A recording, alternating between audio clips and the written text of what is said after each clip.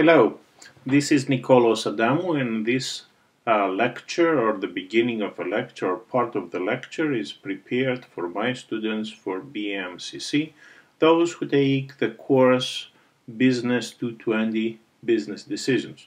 We are going to focus on quantitative aspect of decisions, but decisions are not only quantitative decisions, there are many type of decisions. We are going to talk about that. What I would like to talk for the first time is the influence diagrams or the interdependence diagrams we have. In business, the most important part is to look for the bottom line. And the bottom line, as you can see here, is profit. In order, though, to figure out what kind of profits we have, we need to manage in the total cost and the revenue areas. So we need to put everything in that particular perspective.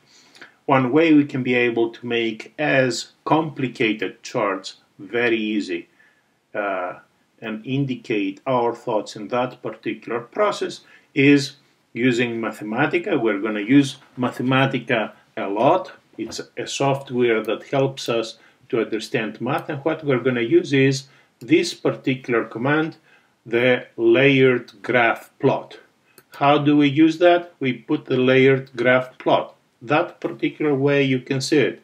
Capitalized every letter that starts a new word, having all the words together, and then we have a square bracket. Within that square bracket, we put all the information we need. What we need to do is we need to put the particular information that we want in quotations. So, total profit is coming from total revenue and total cost has impact to the profit. If we want to have the labeling of the vertex, we need to specify vertex is true. If we want the graph to goes from top to bottom, we leave it as it is. If we want the graph to goes from right to left, we can specify left here and we can put a comma after that particular case. So if we have that information, we can put shift and enter. The graph is new now and we have it as profit being dependent from total cost and total revenue. If we want to make it things a little bit more complicated, we can go on and we can specify what we want to have. Here, for example, we say that total revenue is dependent upon the price and uh, the quantity of sold uh, of goods and services we have affects total revenue and total revenue affects profit as before but total cost is dependent upon fixed cost and variable cost. So if we want to think about that, let's make some changes to the entire case. If we want everything to be from top to bottom, we can leave it as it is. If we want everything to go from right to left, we can put here left with a comma and we can have a little bit of a different graph here. We can see the graph. Mathematica allows to resize that particular graph and have it the way we want it. Let's keep it from top to bottom for this time and we can have the graph as it is. let's try to make it a little bit more complicated. I'm going to ask you the question.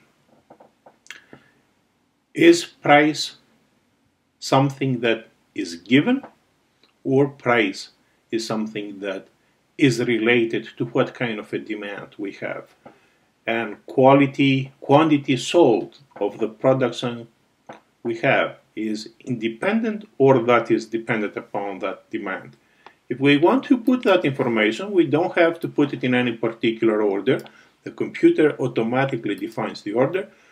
What we need to do, we need to go somewhere and hit enter, go on, and specify what information we can have. So can, we can have the demand is something that defines price. We can put it here.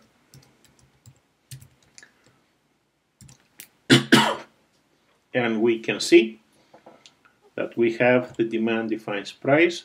We can click it and we can see it from that point. But if we want also to say that demand has impact to quantity sold, now I'm going to make one mistake so we can see what happens. I will specify quantity quantity sold, but I will put lowercase for sold, which is different than what I have previously. And I can say it, as you can see, that particular graph shows me two types of quantity sold because the computer does not know how to make the differences. If I can specify it exactly the same, this is what I have, the demand affects the quantity sold, affects the price, and based upon that we have the revenue that we can have. But is price only something that is an external part? It is something that is related from the demand or is it related to, from the supply? If we want to say that price is related also from the supply and we want to put that, we can have supply is something that specifies demand, correct or not? Is specifying price and we can put comma so we can have everything there. Do we have anything correct? You see the lines are not going there. We need price to be within quotation, double quotation as it is. Now everything is aligned. That means that things are good. We can have that supply specifies price as well as demand specifies price and supply also specifies quantity sold. But supply is based upon what? Is it related to the cost we have or not? If we want to put that two pieces, additional pieces of information, we can go here and we can say that also supply affects not only the price but the quantity sold.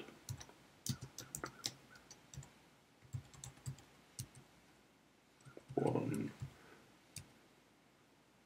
dt sold comma, and that total cost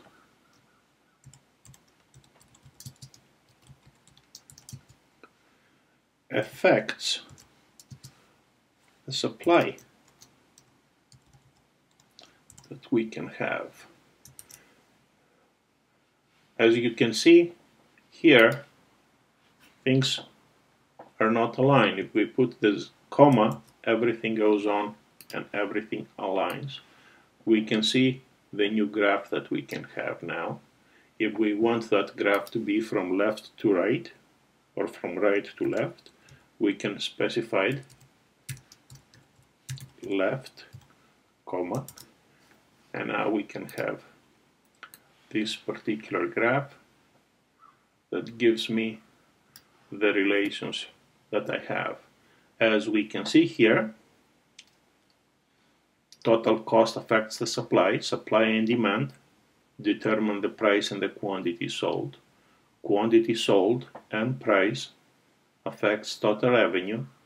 Total revenue has impact to the profit, but also profit is directly related to total cost, which is dependent upon the variable and fixed cost.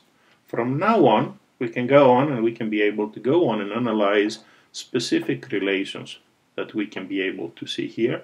But before we go on and we do that, what is important to know the total interconnections that we have in any business looking at the relations we have. What I would like you to do is I would like you to take that simple idea, that's interesting and very useful software we have, and go to the business that you work and you have experience. If this is, let's say, for example, something very simple, at the same time very complicated.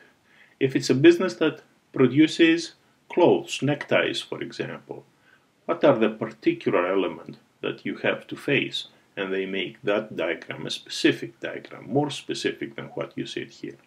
If that is a restaurant, very simple restaurant, what you have is you are in a pizza place and you have to produce pizza and you have to sustain your business so you would make profit and operate it in a very successful way.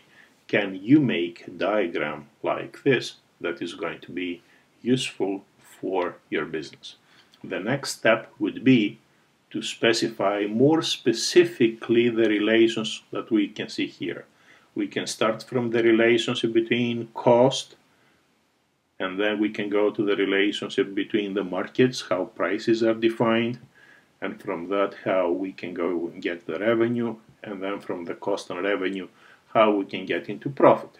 I'm sure those of you who took a course in economics did all that stuff, and I'm sure all those of you who took the course in algebra cover that information in an algebraic form. Here we can review it in a very fast and easy way and I hope that this is going to be the first class that we go into quantitative dimension of business and you're gonna enjoy it and the most important part is that you're gonna find it very useful and beneficial to your careers. Enjoy it and have a nice term. Bye.